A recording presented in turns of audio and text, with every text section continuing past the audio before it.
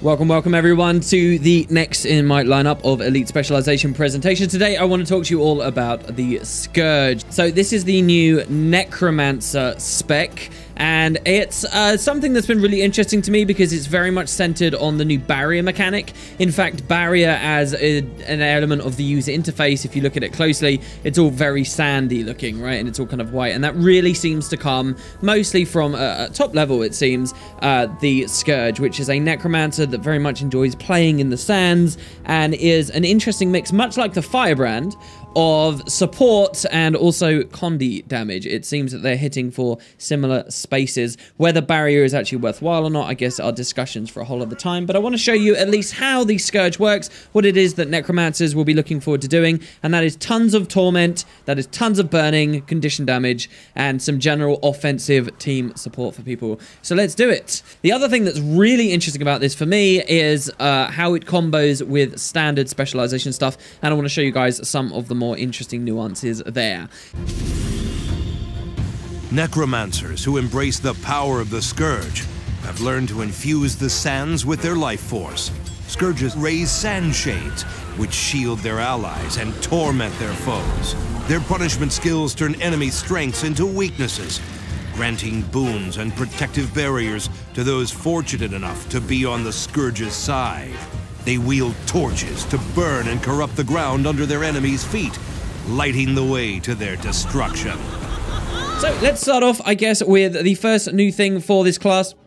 We're actually looking at a new weapon of an offhand. We uh, get for the first minor the ability to craft sand shadows and command them using life force, and we gain access to punishment and shade skills. So our weapon is torch. It's offhand this time, so this is the torch I've got equipped. A nice skull-fitting uh, torch here. We get two cool abilities which we can check out on that one. Uh, and the most dramatic change is, yeah, our user interface looks very different to playing uh, kind of a regular Necromancer. I will just show you that here. If we go to, say, Reaper, the original specialization, we get a Shroud, which when we toggle into, gave us this huge scythe and all of these new abilities. Well, this guy doesn't really get this at all. It Does get a Shroud, but the Shroud on the new Elite Specializations functions very differently. Instead, you give up this idea of having a second health bar, and instead, you uh, just get access to your skills at all times. So we don't have to dip into these anymore, they're always available, but the uh, counter to that is that we're a lot squishier. Now, becoming a lot squishier is potentially a very nice thing for Necromancers because it frees up a lot of like the, the power budget, if you will, that they can allocate onto this class, and now that that innate tankiness isn't necessarily there, the devs don't have to be so scared to go quite heavy on support or quite heavy on the kind of offense that we can throw out. So we'll look at all of these. Uh, generating life force. You see this bar here. This is our life force bar. It's no longer green. It's yellow and it's sandy.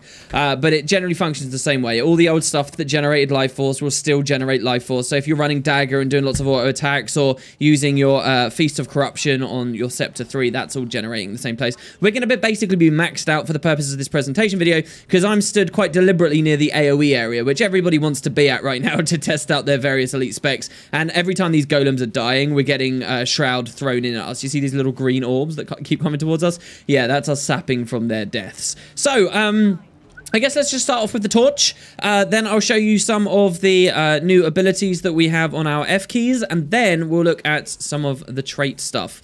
So, uh, the torch. Torch has two skills, uh, so this is one of the most simple new weapons that we've got. First, we have Harrowing Wave. Uh, sounds like an underwater skill, really, doesn't it? So, we unleash a wave of corrupted fire, burning and tormenting our enemies. Very simple stuff. 600 range, 5 targets, and it puts out 3 stacks of burn and 3 stacks of torment straight away. Now, a trait uh, will really make this a lot stronger later, so keep an eye out. But here, I'll show you guys what this looks like on the golems here. Voila. And so we hit five targets. Really, really nice stuff. Uh, and really, that's all we have to say. Next, we have Oppressive Collapse, where we corrupt the ground under our target. And if they remain in the area, then they get knocked down. It's also might generation, not just for us, but for our allies as well. And that's really one of the main things that top level the Scourge is doing. It gives out a lot of might. There's a ton of might, really, on the new Elite specializations. I think this is to make us more comfortable moving away from purely double phalanx strength comps and things. Um, but yeah, so, and especially when we think about world versus world PvP, These th these uh, ideas of more might generation might be interesting. But what's cool about this is this oppressive collapse. It really it does only work on one target. One target. It's a two second knockdown, and a player who's been attached attacked by oppressive collapse can just move away. But if they don't, then they get this uh, fairly nasty knockdown. So I'll show it off on the indestructible golem here. So we're going to use the five. Look at that big ground there, and then they get knocked down a second later. Do you see that? So you can see it and dodge it. It's kind of like nice timing for the dodge, but you've got to be very cautious. Uh, what's interesting, though, is that the more conditions your foe has, then it generates more might. So it's two might for every condi. And we can see from this golem what we've got. One, two, three, four, five, six, seven. So that's about 14 might. And this is sort of an average amount of condis you'd see. It's about 14 might very easily in any kind of scenario where lots of people are hitting one target, as you often find in PvE, which is where a lot of my commentary is sort of geared towards here, I think. Um, but uh, it can go much higher than that as well. So if you just watch this player here, this person's got six might. They're giving themselves some. But if I pop the five you'll see we suddenly pushed them quite high, and I myself got some there too. Um, so this is an interesting skill, and there's a lot of different ways you're going to be able to push Might out onto your friends. Uh, so yeah, Torment, Knockdown, and Might. There you go. That's the uh, the torch. Definitely, um, you're going to be looking at some of the core Necromancer offhands for most areas of the game, like PvP. You're still going to want stuff like Dagger offhand for the transfer. Or you're going to want Warhorn to be moving around and to get the unblockable dazes for reses and stuff like that. But uh, these are still quite nice uh, in certain areas. So there you go. That's the torch. Moving over, let's look at our utility skills. Now, the classification that these are is punishment. Now, that might suggest to you that they've got some interesting, um, like, uh, they damage you in order to accomplish stuff, which is my first impression of what they were.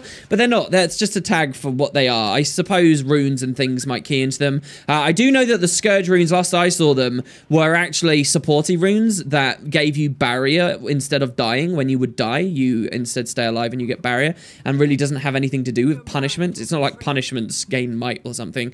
Uh, so I don't know what that is there. No other classes have punishments. It's new. It's a bit like the uh, Holosmith's excess abilities, and we can kind of ignore it. Um, but we do have a full selection of new punishments. Let's first look at the hill. And here we're going to see a lot of barrier immediately. First of all, it's a nice big meaty hill, but most of it is on the barrier itself. So when I pop this, if you watch my health, it's a lot of barrier. Now, that may not feel like too much barrier there on us with all of our crazy vitality, but that that barrier actually gets pumped out to our allies as well. That's a uh, So you can actually think of this as closer to something like wash away the pain than it might first appear. Now, obviously, that's barrier and it's not raw health, and raw health is probably better, and the numbers are going to be way off and so forth. But yeah. Now, now, the other thing you'll notice, um, it says second, is something you'll find on a lot of punishments. And maybe this is why they're called punishments, but uh, I think at least one of them doesn't have this. So what this is, is this converts a boon. Why? How is this guy dragged Chieftain Utahein all the way up here? And why is he aggroed specifically on me? It was the friggin' Deadeye that... No, what is this? I just got pulled by the axe. So annoying, all right? So here, look, if we watch these guys, we'll give them a ton of barrier. Boom, that's all barrier just from using our heal skill, and that's actually a good little uh, demonstration there of how it works for you all. So uh, let's move on. I'll tell you what, Heart of the Mist is chaotic at the moment. It's absolutely, it's been crazy times for Guild Wars 2. It really has. Um, so you'll notice though that the heal does something else. It converts a boon on nearby enemies into Torment and Cripple. Now lots of punishments do that. Pretty much anytime you pop a utility, you're going to do that. So nearby enemies, it will always be five targets around you within a 240 radius, which isn't too bad. They're all going to lose a boon every time you do this. But that's And it uses the word convert there in the tooltip text. It's not really conversion that we're looking at. It's not really a convert. It's just they're going to lose that boon and instead they will gain torment and cripple. Two torment, one cripple every time. I love that combo of Torment and Cripple because Torment, you take more damage while moving, but then you're crippled, so you're moving for longer periods of time to go the same distance and so forth. I like that little combo, and you're going to see that continuously. So that's why there's like Condi damage on this heal skill before we even look at any traits and things like that, right? So there you go, that's Sand Flare. I really like it. I like Barrier. Maybe I'll end up hating Barrier, but these days, right now, I, I think is an interesting idea. Moving on, um, I'm going to disappoint you all straight away uh, by showing you a skill that's actually disabled right now, but it's really fun. Um, and hopefully I'll show it in some future videos for you guys. Sand Swell. Again, another punishment Again, when we pop it, we rip a boon and we put Torment and Cripple out. But listen to this. Plunge into the ground, creating a portal through Tyria for allied use. We grant allies who use that passage barrier. Basically Scourge does get a mini version of the Necromant, uh, of the Mesmer's, sorry, of the Mesmer's portal. Um, and it's really fun. So it's 900 range. You can combo this with stuff like um, Spirit Walk as well, Spectral Walk, uh, to do it across really huge distances. And it is a very fun idea. It doesn't last as long as the Mesmer's. It's not got quite the same quality of life, but it's very, very fun. Now, unfortunately, I guess some people found a way to really break the game with it as the content has temporarily been disabled, unfortunately. And I can't show it to you. But yeah, this is one of the most interesting new utilities of the entire Generation 2 set. We have another version of Portal, and Necromancers get uh, that available to them. It has a beautiful little animation on it as well. So, okay, that's the next punishment. Moving over to ones I actually can talk about. Let's equip these now here. So, first of all, we got Trail of Anguish. This has got a beautiful uh, visual effect on it. So, we leave a trail of sand as we travel. We get swiftness for doing it, and any allies that walk in it get swiftness as well. And then uh, we also inflict burning on enemies and uh, we also corrupt boons if they walk into the, the shroud, I think it is. So uh, we can test out on this Mesmer here. So as we walk Trail of Anguish, you'll see we drop all this beautiful sand behind us. We paint the ground. And as I walk over the Mesmer there, hopefully I can lure him into it. Look at how good the sand looks. As we lure him into it, you see it applies burning to him. So enemies that walk in your sand get burnt. Allies get swiftness and anyone in the area when you initially pop it will get that uh, lovely regular punishment thing where they lose a boon and gain some torment and cripple. Uh, I'll show it off to you guys again here. Really, really beautiful looking effect. I love the sound on this. So we can just sort of layer it around, run circles around our enemies. It's so good, isn't it? And as our allies walk through it, they will be uh, sped up by the sand. Kind of a cool little version of maybe that Jarlis Road thing we saw uh, two years ago with of Thorns. Really, really like this. That's the Trail of Anguish. You see more of the sandiness that comes into this elite spe uh, specialization. Uh, pretty brilliant. Moving on, we have Desiccate. So we draw in vital enemy from our foes to get lots of life force, and also we grant boons to our nearby allies, and guess what? That's might again. So we could pop this every 20 seconds, less with alacrity, and uh, we give people even more might. So that's 5 might, just more generation, supplementary might, and you see that a lot on the Scourge. The idea is it's sort of a supporter that's also uh, sort of not going the full way of a phalanx strength warrior, but helping to buff might up maybe so that you can have a couple of people a bit like this and then get your 25 might anyway. Um, so yeah, this is just lots of lots of generation for you. This is not a stun break. I'd almost expect this to be a stun break, but it's not. Uh, it's just that, and then we get the boon and torment uh, conversion there but uh, about 10% life force, so that's nice per target, right? So let me just uh, demonstrate this to you for a second here, guys. I'm going to spend a ton of life force on skills we haven't talked about yet. Okay, so we're at half life force. If I walk into these golems and I just pop desiccate, you should see we get about 10% life force without any deaths or anything. And so there you go. We see a nice big chunk comes up there. So, uh, so yeah. And then last of all, we have Serpent Siphon. Again, uh, Boon Rip but we unleash ghostly serpents towards foes in the target area. Actually, I haven't seen any snakes in the expansion yet, and I really want snakes when we go back to Elona and we go to desert areas and rattles and things. That could be really cool. But uh, at least we get a little bit of that here. So um, we unleash these ghostly serpents towards the foes. And serpents that strike their targets become magical sand that grants allies barrier and then we also have the conversion thing. So uh, this is actually a bit of flat damage on there and poison. So let's have a look. This is something more that's interesting with the animation and it's unblockable. Okay, so we'll just send the snakes off into this area.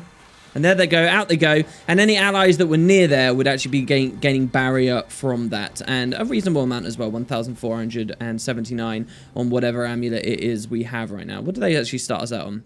Which doesn't even have any healing power in it. We're on a Demolisher amulet right now. So here, uh, here's a Magi amulet, for example, and now you'll see we actually we get about 3,000 barrier we push out onto our allies just for being near these snakes. But I do love the look of those snakes, okay?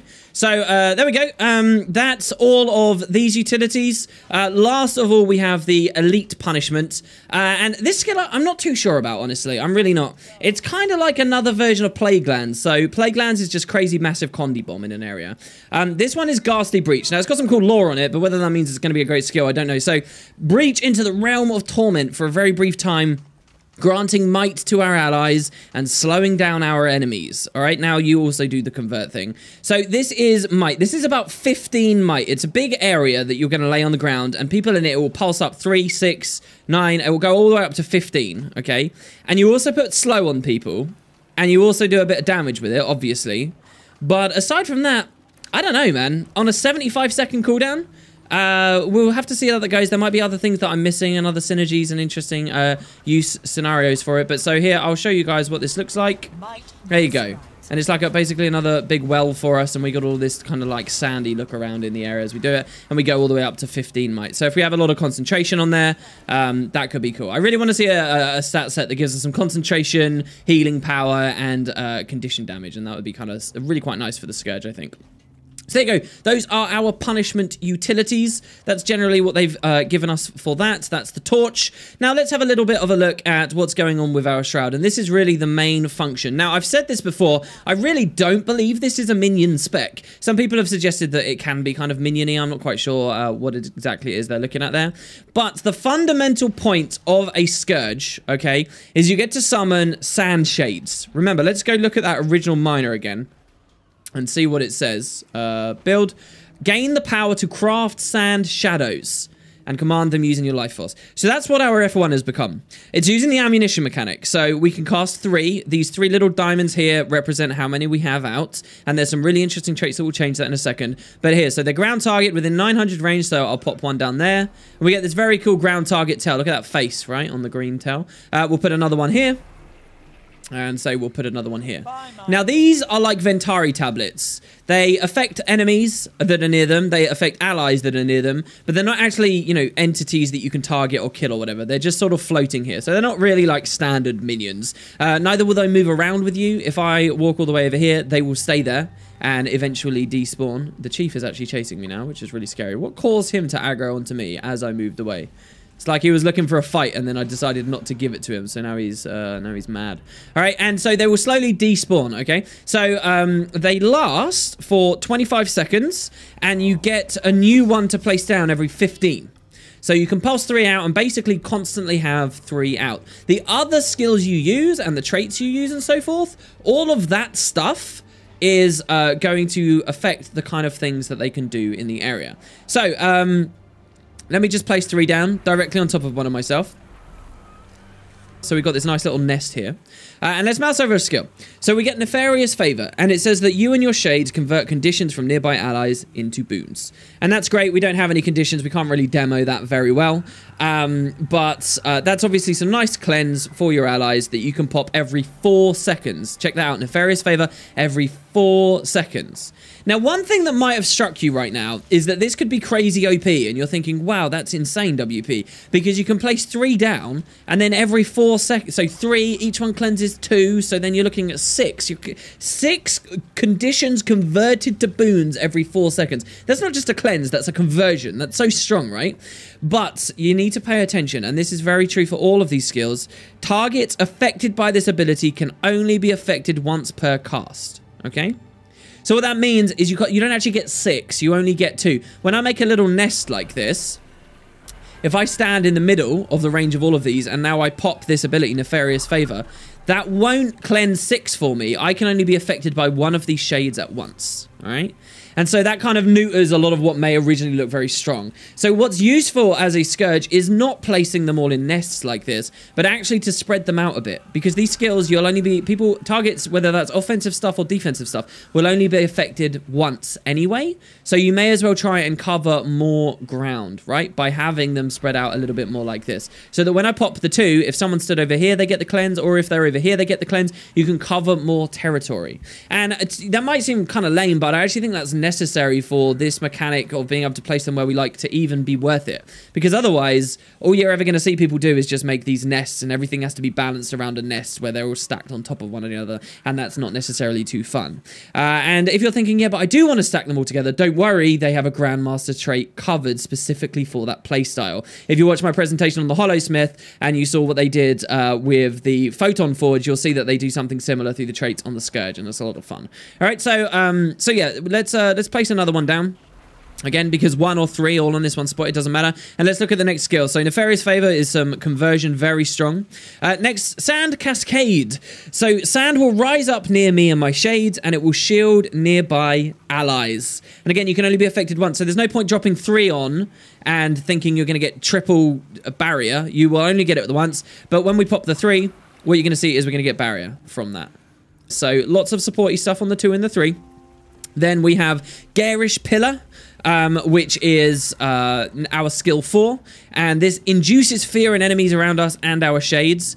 Target's going to be affected once. So if I set up three shades, okay, all the way along here, I can create like a line in this choke and what I can do is on demand, if anyone ever walks into this choke like the chief there, boom, I can fear him with my F4 there, which also put out some flat damage, it looked like there as well. Uh, and you get this big fear, um, spending life force as we use all of these abilities, by the way, guys. You're not seeing the life force mechanic because I'm constantly draining it from all this stuff dying. But yeah, this does all cost life force to use. So uh, we get that big fear there, and that's quite nice. Remember, we're a necromancer and we can buff fear to start doing damage and stuff. We'll talk about that soon. Now, as a slight aside, by the way, as we mouse over these skills, one thing you guys should be thinking about is don't forget this is replacing our regular shroud and our potentially reaper shroud. So you might be wondering why does this skill here have fear? Um, and it's a pretty powerful fear actually. If you had five targets next to one of your shades and then five targets next to another one and then five targets next to another one and five targets next to you and they're all in separate places and you press that button, you're going to fear 20 people at once, which can be very strong or you could do as little as fearing just one person at once and in a more clunky, difficult to uh, execute way. Why is there fear here? Well, remember that when you're a core necromancer, what happens when you get your shroud skills? You get fear. And when you're in a, when you're a Reaper, what happens when you go into Shroud? You also get Fear. And so this is kind of a replacement. So with that skill 4 uh, out of the way, we now move on to the F5. Uh, the F5 is fundamentally a very different skill, I would say, to these other F abilities. Now, they all spend Life Force except F1, which is placing shades down. Uh, but the F5 is really different, okay? Now, top level, what you guys have been seeing so far is a Necromancer that doesn't have a Shroud, right? It spends Life Force on these Sand Shades, and it spends Life Force on making the sand shades do things like give barrier and fear, but it doesn't have a shroud, does it? Well, actually, it does. That's what the F5 is. This is your shroud. And it's not a shroud that flips your abilities like the old shrouds were, but it is a shroud nonetheless. It's a shroud that will synergize with all of your other sh shroud speaking traits from before. And even it's a shroud that gives you a bit of defense. Remember how on regular Necromancer, you drop into shroud and you get all this extra health? And on Reaper, you drop into shroud and you get all of this extra health? Well, that's still kind of true on the Scourge as well. You drop into shroud and gain extra health because the F5 gives you barrier, which basically is a similar version. So we do get perks from going into it. It's not just barrier, it's also extra stuff. Not only do we go into the shroud ourselves, but our sand shades also shroud. And by doing this, they start pulsing damage out. And in fact, they put seven pulses of damage out while they're in shroud, and so do you. Each of those pulses can. So here, I'm going to summon three shades, and when I press my Q to go into Desert Shroud, all these guys will go into Desert Shrouds as well. Ready? Swiftly. Boom, and you can see the little effect appears on them. This is the effect that appears on me. Again, I wish it looked a bit better. Come on, we've seen this effect too much. But so what does Desert Shroud do? Tons of barrier for us, and it also pulses damage out around us and torment out around us. But you might be thinking, okay, well, WP, hold on. I still haven't really seen much damage here. It's actually incredible. And I'll explain where the damage comes from now to you guys. And for this, we have to actually look at the uh, F1, the actual summoning of the shades themselves, because it's really kind of fiddly the way that this works, uh, and hopefully I can explain this quite well to you all. So when you drop a shade, um, what will happen is around that sand shade, as you place it, it will attack around it. It will pulse around it once, only once, and then after that, it will just be passive forevermore. So when you drop a shade, it pulses around it, and you can see by default on the F1 there, it puts a little bit of Condi out around it, just the once as it attacks there. Then, anytime you use a different F ability, it will pulse again. So if we, not only do we cleanse some conditions around us, but it also causes that shade that was on the ground to pulse again and put the torment out around it again. And then if we use the F3 to give ourselves some barrier, it will pulse again. And then if we use the F4 to fear, it will pulse again. And by that point, the F2 is probably up again. So we can do that and it will pulse again. And even when we place another shade down, the original one will pulse again. Does that make sense? So you place a shade, it pulses. You place a second shade, and the original one, one will pulse, and the new one will pulse. And then you place a third shade, and the original one will pulse, the second one will pulse, and the third one will pulse all together. So you can see how you can start covering a lot of territory. Now, if you trait for Soul Reaping and say Dhuumfire, which is that your F1 deals burns on the other uh, Necro specializations, instead what will happen now is that pulse that was originally just doing Torment now pulses both Torment and burning. As you can see, this now suddenly becomes quite a lot of Condi damage. The best thing then is to go back to our Desert Shroud. Remember what I said about Desert Shroud? When we're in the Desert Shroud, we do seven ticks of damage around us, and there's seven ticks of damage around all of our shades.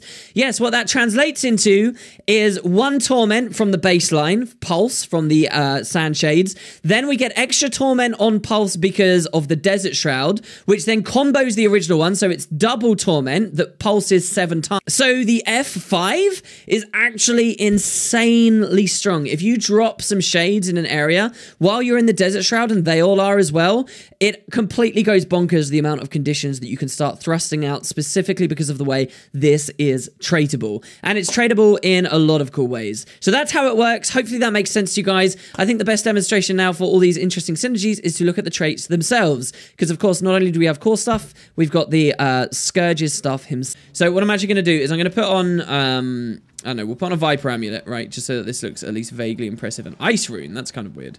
Let's put on uh, Tormenting Runes as well, shall we? Okay, so we got lots of Condi damage here, and I'll show you that. I'll show you how this works offensively because I know a lot of you guys aren't excited about the elite specializations until you see it doing a lot of damage, and I haven't shown that just yet. Uh, and let's have a look at the middle line, which, as far as I remember, is the damage line for the Scourge. So uh, let's talk about minors first. Every single one will get this Sand Sage. We get extra concentration. And remember what I said about concentration earlier? That's great for keeping the might on your friends.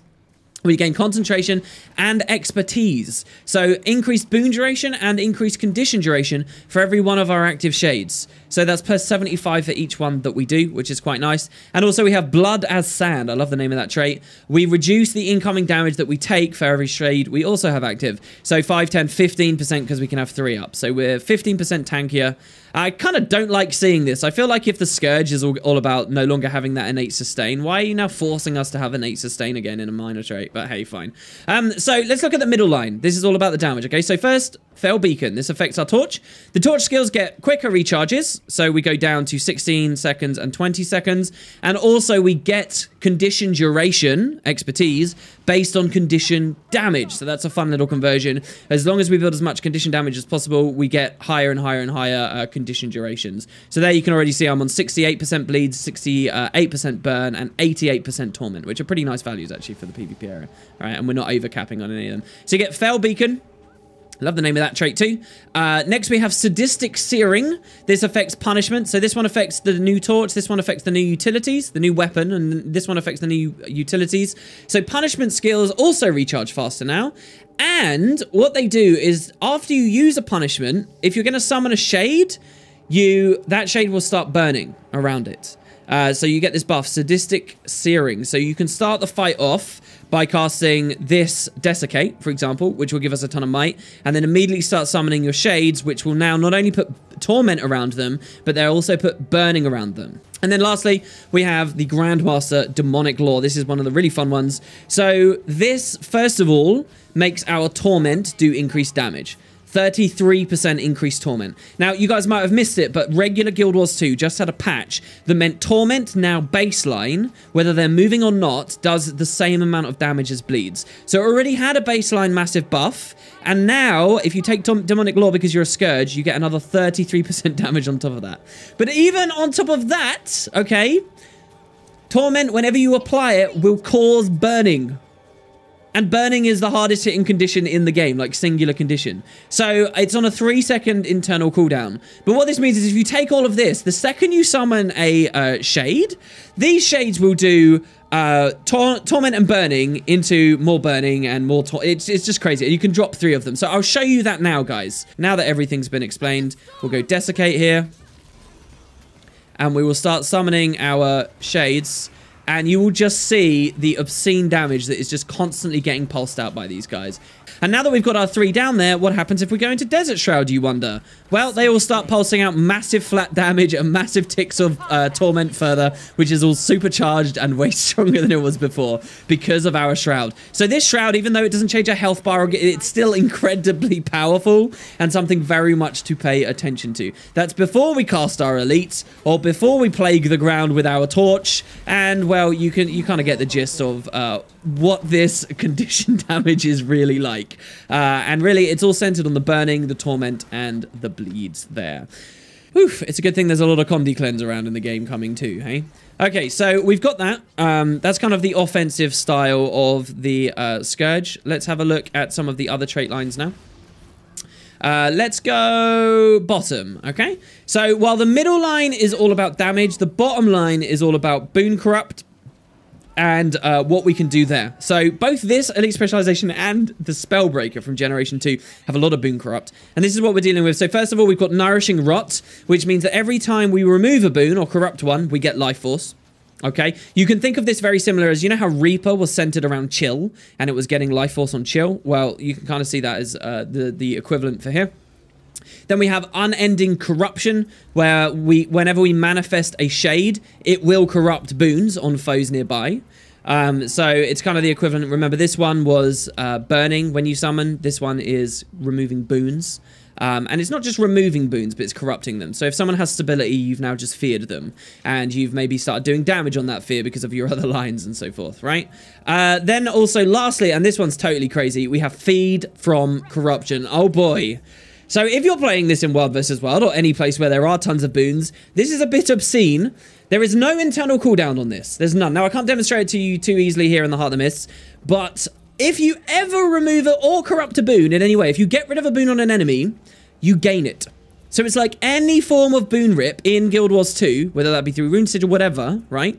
In fact, I don't think it exists on runes, but still, through any method, or any core necromancer method, like spinal shivers, if you do any of that, you will gain those boons. It all becomes boon stealing, essentially. Um, and it's quite strong too. You can, you'll notice there that it says you get three might. So if I rip one might off of a target, I actually gain three from the trait, so I gain more than they had. Uh, the downside is if I rip 25 might from them, I only gain three, but still, you can get a lot. And if I rip one stab from someone, I gain two stab and every other boon in the game. It means that if you really do pile out stuff like this elite here, where we're converting boons on enemies in a massive AoE, where we're summoning tons of these guys, when we're using a lot of the other core necro stuff to rip boons, you are becoming a god of boons yourself. And you're suddenly doing even more damage. You've got quickness to help you cover it, and you, are taking warriors' resistances for yourself. Uh, it's uh, it's beautiful. Uh, really, really strong. I'm expecting an internal cooldown on that of some kind eventually. Uh, but we'll see. Maybe maybe the kind of game that we're moving moving into, this won't be uh, such a big deal. So there you go. Uh, I can't really demo that one, but that's a lot of that stuff that's going on. I really hope there's a lot of boons in PvE so that this stuff can start shining. And then uh, finally, we have the top line. The top line is more of the support-oriented stuff. The top line, we're looking at might generation. So whenever we give someone a barrier, then we remove conditions from them and we give them might. So that's really a huge amount of your might generation. We've seen some of it already, but playing into the might that you get here is really uh, the, the big one, I would say, uh, because there's lots of little ways to give people barrier. I'll point out that Sand Cascade here, this big barrier applying one, this only has a six second cooldown, and we, we've got it on our hill, we've got it in plenty of places, right? So we get a lot of supplementary might there. Moving on, we have Desert Empowerments, and this means whenever we summon a Shade just in the first place, we gain Barrier. And you'll see how this rung is now, right? It's, do you want Burning when you summon Shades? Do you want to rip boons when, oh, sorry, convert boons when you summon shades, or do you want to give barrier when you summon shades? You know, there's a really nice match going on there. And so, and lastly, we have Sand Savant, the Grandmaster. Now, this is the big one that's a lot like what we saw with the Holosmith, in that it changes your mechanic quite a lot. All right. So listen to this. You can only summon one shade at a time now. This greater shade has a reduced recharge, and you can affect more targets with it and influence a larger area with shade skills. If you look at the user interface now, I only have one diamond there, right? I'll toggle the trait off. You got three diamond. We toggle it on. We got one. So that if you're the if you're the kind of person that likes making that nest and just having that one area, they've built a grandmaster and a playstyle specifically for you. You now get the one super charged one and the super interesting one, and that is correct. It increases the target cap on a ton of your stuff by five. So you've doubled the target cap. A lot of your stuff is now 10 targets which is obscene, okay? And it becomes a lot bigger. So here's what the new Greater Sandshade looks like if you choose to go for him. He's got a much bigger area than the old little ones.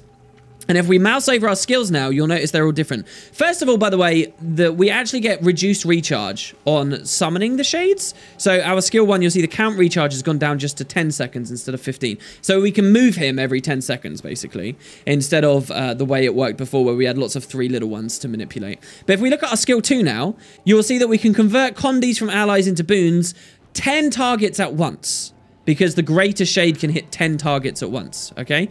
The skill 3, we can put barrier on 10 targets at once.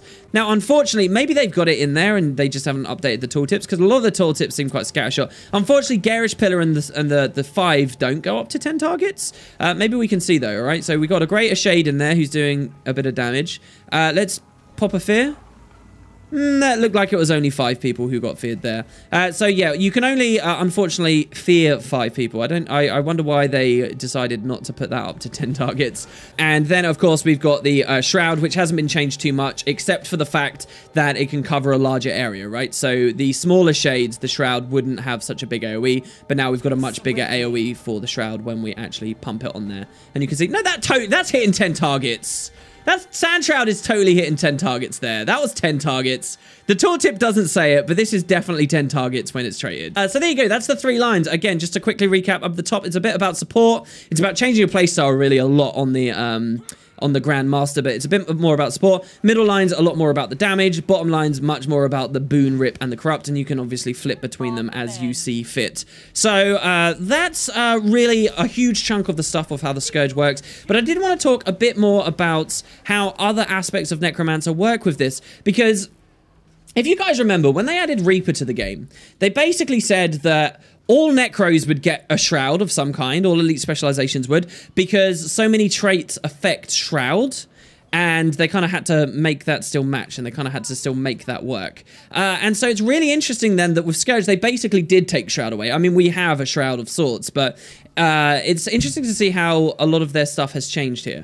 Um, and I wanted to show you that. So let's have a look, first of all, at Soul Reaping. Bluntly put, Soul Reaping is amazing for Scourge. And that's because Soul Reaping is all about life force, right? So you get more life force. So first of all, we've got a lot more sand to play with, basically, uh, because we're running Soul Reaping. But you've also got a lot of other fun little things as well. So for example, Speed of Shadows. Entering Shroud grants swiftness and removes movement impairing conditions. This actually does work. This works on the queue, okay?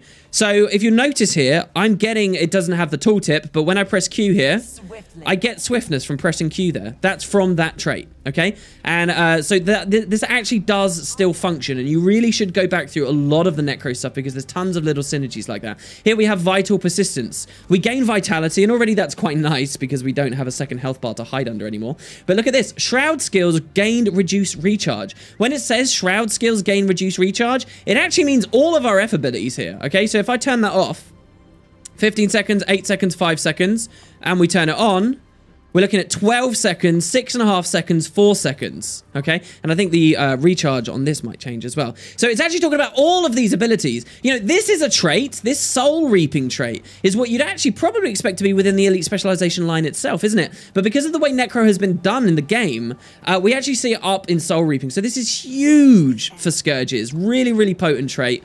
Um, and then, uh, of course, we also have uh, the uh, Grandmasters, and all of these are worthwhile. So Foot in the Grave, Gain stability and break stuns when we enter Shroud. So here we can enter the Desert Shroud and I get stability when I go into it, um, as you can see here. And, I, and this became a stun break for me just because I have this. If we swap down instead to Death Perception, while we're under the influence of the Q, which, by the way, that just bypassed the cooldown. I, I, don't know if you guys saw that there, but we can double cast it, basically, because of that uh, little trait swap there. We actually have higher crit chance while we're specifically in that smaller shroud there.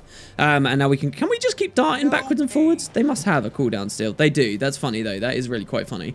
Um, so we get that. And then lastly, you've got Dhuumfire. Shroud skill 1 inflicts burning on your target. Well, you're goddamn right it will. So now your Sand Shades, if you run Dhuumfire as well, in addition to all of that other absurd stuff you saw before, will also inflict burning uh, when you summon them around your targets like so and it just spreads immense. look, look at all the packets of damage. Remember, we have three shrouds out, sh shades out, and each can only hit five targets at once. So you can actually cover all of these, right? At least 15 of them. That's not counting if we use, say, Desiccate and then summoned one.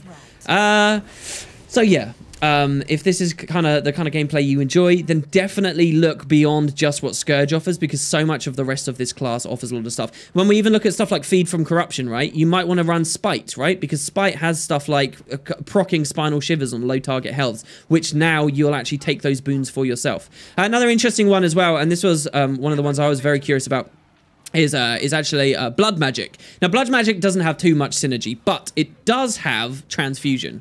And transfusion is really weird the way that it works, but it does work. So this is that Shroud skill 4 heals now and partially revives nearby allies. Up to five nearby downed allies are teleported to you upon using Shroud skill 4.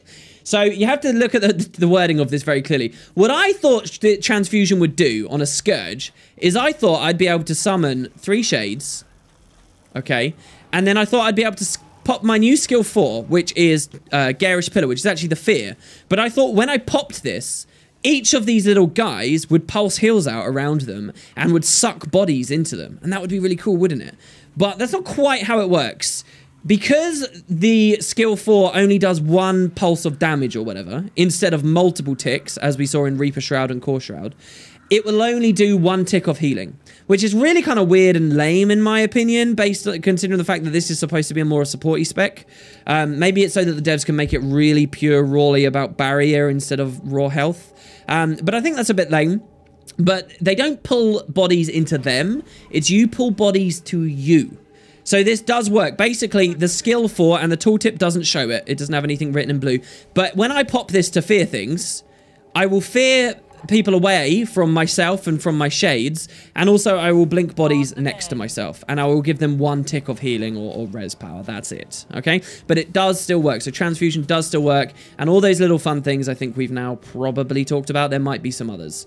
Uh, and so, yeah, there you go, guys, really. That is the way that the Scourge works. I think it's uh, a really, really interesting Elite spec. I can't wait to see it in actual real combat and see how it works in PvE and stuff. And, of course, tuning and stuff will be subject to change as time goes forward. Uh, let me know what you guys think. Hopefully some necromancers watching who haven't played the game for a while uh, now know a little bit more about where the class has gone and how the expansion's going. And I will see you guys for the next presentation. Cheers, everybody. See you later.